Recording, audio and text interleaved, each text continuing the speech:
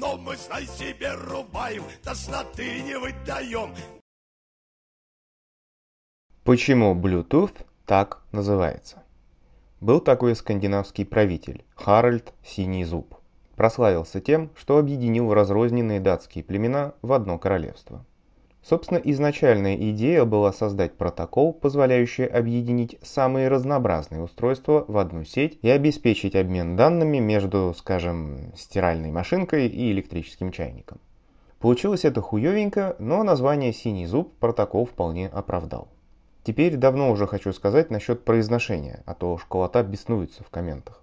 Значит так, межзубный звук, который дает сочетание букв Т и H, произнести очень легко – для этого нужно широко улыбнуться, зажать язык между зубов и прошипеть чтобы получить глухой звук, как в слове tooth, либо точно так же с языком между зубов сказать «в», если нам нужен звонкий звук, как в артикле «the». Все просто. Главное улыбаться пошире. Во многом поэтому англичане с америкосами и улыбятся так, что того гляди ебало лопнет. За тысячелетия существования звука манера его произносить вошла в привычку.